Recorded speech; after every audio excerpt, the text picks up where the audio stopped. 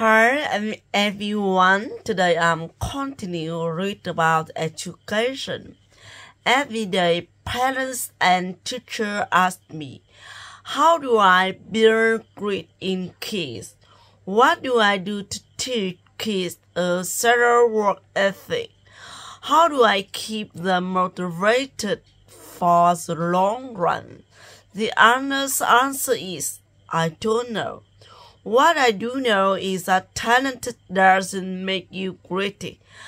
Our data show very clearly that there are many talented individuals who simply do not follow through on their commitments. In fact, in our data grit, is usually unrelated or even inversely related to measure a talented. thing for listening.